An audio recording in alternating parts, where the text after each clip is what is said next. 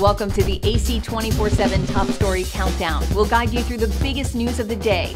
Our focus advocating our rights, advocating health, and advocating Earth. Here's our pick for number four.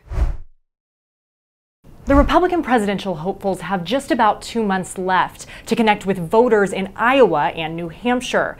Since former President Donald Trump holds a commanding lead in the polls, experts say that the other candidates are focused on becoming the leading alternative in the party.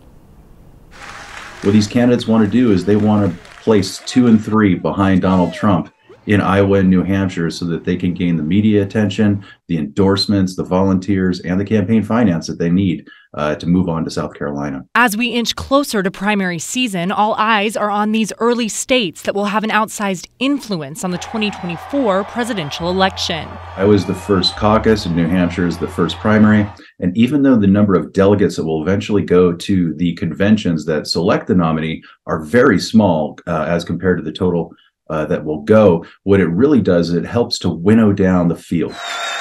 Florida Governor Ron DeSantis has made Iowa a key focus, aiming to visit all 99 counties there. Former UN Ambassador Nikki Haley is hoping for a strong finish in Iowa, where she just received a big endorsement. She's heading to New Hampshire after holding a town hall in her home state of South Carolina Monday. Trump appeared at the state's Palmetto Bowl matchup on Saturday, where he was met with cheers and some boos. This brings up the question could another candidate become competitive if the field becomes smaller? This idea of people just doing math and adding up numbers, that's not the way voters vote. Former New Jersey Governor Chris Christie, an outspoken Trump critic, brushed off the possibility of dropping out of the race to consolidate the anti Trump vote. I would say to everybody out there, let's let the campaign move forward. This is the smallest Republican field at this stage in this century that did not include an incumbent. Voters will see most of the Republican candidates on the debate stage next week. It's not likely that Trump will attend. He skipped the last three debates. Well, we'll start in the sky before we go shopping. And if you flew home yesterday, congratulations. You were part of the record, the all time highest number of Americans flying in a single day. Certainly, Cyber Monday retailers saw that record and they said, hold on, we are just getting started. Or they're taking off, or checking out. Americans were setting records over the Thanksgiving holiday. The Thanksgiving holiday period always has the busiest travel day of the entire year for us. Thank you. The Transportation Security Administration says Sunday was the busiest day at U.S. airports ever. Yes, ever, with more than 2.9 million passengers screened at TSA checkpoints nationwide, 10% higher than the equivalent day last year. Airports are very busy, flights are full, um, travel is back in the United States. From the skies to the stores. It's really the Super Bowl for the businesses and merchants. Amped up Americans were spending big on Black Friday to the tune of an estimated $9.8 billion, with sales made from mobile devices accounting for more than half of all purchases. The heroes here seem to be the U.S. consumer. They are strong and resilient, and they're buying. While the early morning storefront stampede may be a thing of the past, brick and mortar visits were up 4.6% over last year, according to Sensormatic Solutions. Some shoppers looking to maintain tradition. One of my favorite activities is going out and Black Friday shopping with my mom when I come home. And some willing to go the distance to get discounts. I got up at 1 a.m. this morning because it's like a two hour drive. But the spending spree isn't over yet. Adobe Analytics predicts consumers will shell out $12 billion today, cashing in on Cyber Monday deals, which would set another retail record for the books. MasterCard notes that in store brick and mortar sales figures were up more than a percent this year. But an interesting wrinkle the NFL had its first Black Friday game ever a couple days ago against the Dolphins and the Jets. MasterCard notes that may also have helped out online retailers. Much easier to shop on your couch as you're watching the game. World's richest man, taken by Israel's prime minister to a kibbutz, attacked by Hamas October 7th. The terrorists infiltrated into the kibbutz itself. There were umbrella bearers. Musk took some pictures. The editor of a prominent Israeli newspaper calls this a PR visit, calls Musk a blatant anti Semite, accuses Netanyahu of amoral sycophancy. The backdrop to this visit Well, Musk recently replied, You have said the actual truth to a tweet espousing anti Semitic tropes that Jews push hatred of whites and promote minority immigration to Western nations. That theory, also espoused by the man who murdered 11 Jews at a Pittsburgh synagogue in 2018. Many accuse Musk of overseeing the descent of X into a cesspool of hate, particularly since October 7th.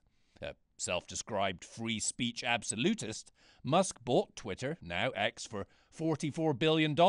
That investment is now in danger. There's an exodus of heavyweight advertisers over the hate. Musk has said claims he is anti Semitic could not be further from the truth. Today, we could not reach him for comment, but Musk and Netanyahu had a chat live on X. They agreed on a lot. Those who are intent on murder must must be neutralized. Uh, then uh, the the propaganda must stop, um, and then and then making uh, Gaza prosperous. And if if, if if that happens, I think it will be a good future. Well, I hope you'll be involved in it. And, I'd love to help. Welcome to Israel, Mr. Musk. Uh, your visit means a lot to us. Israel's president implored Musk to help fight anti Semitism. You have a huge role to play, and I think we need to fight it together because Great. under the platforms which you lead, unfortunately, there's a harboring of a lot of old hate, which is Jew hate, which is anti-Semitism. We have to do whatever we whatever is necessary to uh, stop the. I mean, essentially, these these these people have been fed propaganda since they were children. We uh, in the Jewish faith believe in uh, repentance uh, and atoning for one's sins. Perhaps that's what's going on right now, but the proof will be in the pudding. We'll have to see what happens on his platform. Here he is in Vermont, small storybook town. You wouldn't. We're just shocked. We're just shocked. This morning, one of three Palestinian college students shot over the weekend is out of the hospital, according to a source close to the families. The other two remain in ICU. The mother of victim Hisham Awartani says her son has a long road to recovery. He has another month in hospital um, and then uh, several months of physical therapy. Um, but currently, the doctors say that he's lost uh, functional mobility in his legs. Relatives say the men were visiting Vermont on their Thanksgiving break when they were shot Saturday night.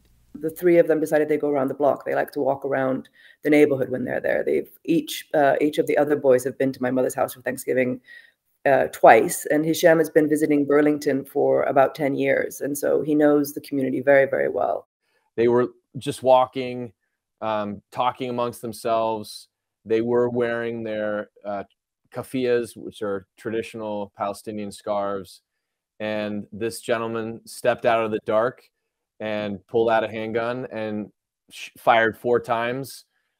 Investigators are trying to determine if they were the targets of a hate crime.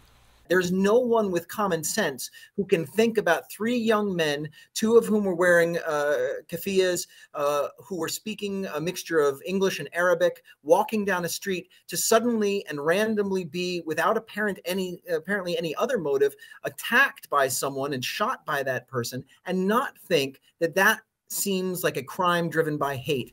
Officers located the suspect, 48 year old Jason Eaton, Sunday afternoon near the scene of the attack. Police say he lives in an apartment building in front of the shooting scene. According to an affidavit of probable cause, Eaton told ATF agents, I've been waiting for you.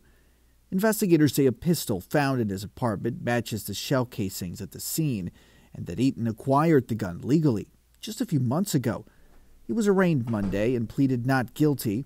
Eaton is being held without bail.